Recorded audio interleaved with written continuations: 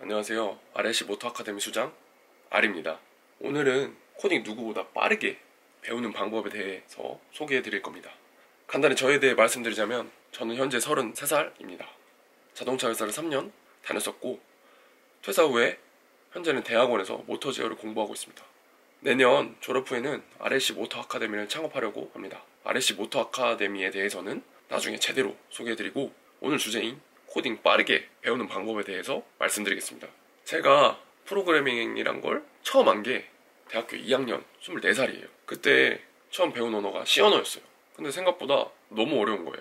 하나도 모르게 가장 기초인 printf라는 것도 잘 몰라서 시험을 보려고 한 200줄, 300줄 정도를 대사 외우듯이 외웠어요.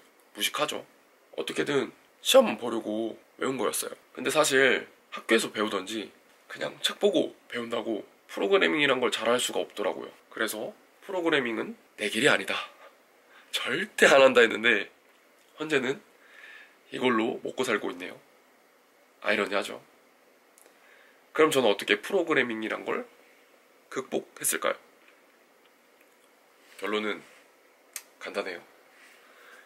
뭔가 만들어 보면 돼요. 진짜 간단하죠? 저는 RC카도 만들었고 RC 드론도 만들었어요. 제가 정말 잘 알아서 시작을 했을까요? 저 정말 시작할 때는 잘 못했어요. 그래서 구글링을 엄청 해서 자료를 진짜 하나씩 하나씩 한 땀 한 땀 모았어요. 그리고 제가 만들고 싶은 것에 대한 기능을 하나씩 어떻게든 구현하는 거예요. 그렇게 하나씩 기능 구현을 하다 보니까 책을 찾아보게 되었고 그 코드를 복붙해서 쓰다 보니까 눈에 익기 시작했어요. 잘은 모르지만 코드에 쓰여진 뜻이 뭘까? 책, 블로그, 유튜브, 구글링 다 활용해서 가장 쉽게 글을 썼고 설명을 쉽게 하는 사람만 찾아서 공부하기 시작한 거죠. 그래서 그때마다 필요한 문법을 받고 그러다 보니 어느덧 RC카가 굴러가고 있긴 하더라고요.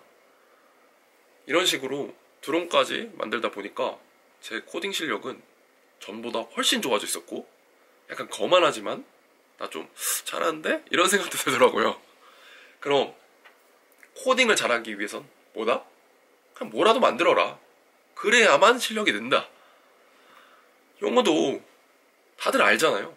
문법만 추구장창하는 게 아니라 내가 필요할 때 그 문법을 익히고 공부하면서 실전에서 자주 부딪혀야 늘잖아요. 프로그래밍 언어도 똑같아요. 실전으로 부딪혀야 늘지 그냥 뭐 이렇게 써보기만 한다고 영상만 본다고 잘 되는 게 아니에요.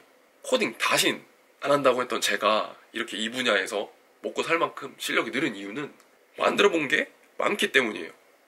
그러니까 지금 늦은 나이에 코딩을 시작한다? 내가 앞으로 이 분야에서 먹고 살고 싶다면 그냥 언어 그런 거 뭐 고민하시지 말고 만들고 싶은 걸 고민하세요.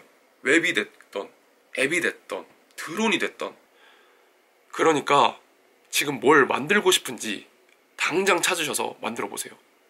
28살에 늦은 나이에 다시 시작했습니다. 여러분도 절대 늦지 않았습니다.